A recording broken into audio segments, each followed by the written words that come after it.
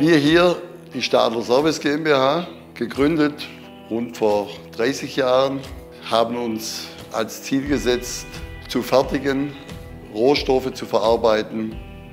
Wir sind tätig für eine der größten Lebensmittelhersteller der Welt im Bereich Babynahrung, Hochhygienebereich, Pharmazie und auch Automobilzulieferer und Automobilbereich. Wir verarbeiten Schwarzbleche S235 bis Hartox, Mangan, V2A, V4A, Aluminium. Wir hatten vorher eine HPR 260 XT über lange Jahre im Einsatz. Wir haben uns entschlossen hier für eine Zinseranlage mit Hyperturm, weil wir kostengünstiger produzieren können und einfach schlagfertiger sind wie andere. Durch unsere Flexibilität in der Fertigung sind wir in der Lage, kurzfristige Lieferzeiten einzuhalten.